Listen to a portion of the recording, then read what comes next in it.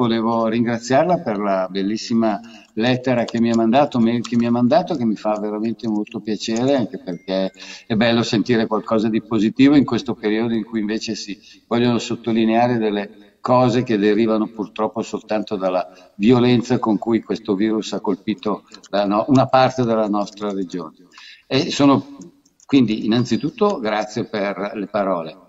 E poi sono molto contenta dell'esito di questa, di questa situazione che è eccezionale, qualcosa che bisogna eh, pubblicizzare il più possibile perché, perché, è stato veramente un piccolo miracolo che, che, che mi ha riempito di gioia. Sì, io volevo ringraziarla come le ho già detto perché per me è stata, è stata dura, è stata difficilissima, però sembra tutto finalmente passato, sto solo aspettando il parto, con tanta paura, non lo posso negare.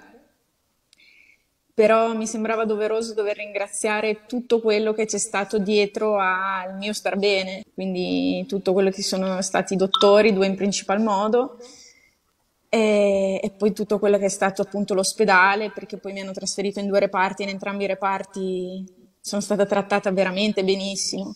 No, no, devo ringraziare e anch'io mi farò parte per eh, ringraziare tutti i medici e tutti coloro che l'hanno assistita, che dimostrano, come, come lei ha detto, che la nostra sanità è veramente qualcosa di eccezionale perché è fondata su persone eccezionali, perché sono veramente eh, persone eh, che hanno in questa occasione dimostrato una capacità, un'umanità, una disponibilità che vanno al di là dell'immaginabile. Quindi credo veramente che, eh, che loro meritino, meritino veramente questa, queste sue parole. Loro sicuramente.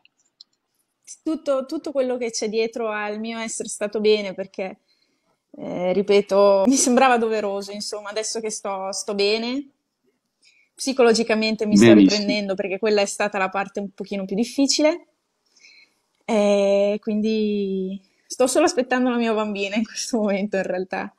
Allora, il parto è previsto fra 50 giorni, il 28 luglio avrà il termine. Sì. Magnifico, molto molto Sì. bene. Grazie, grazie a lei, volevo ancora ringraziarla di tutto e No, grazie no, perché grazie guida un'ottima regione.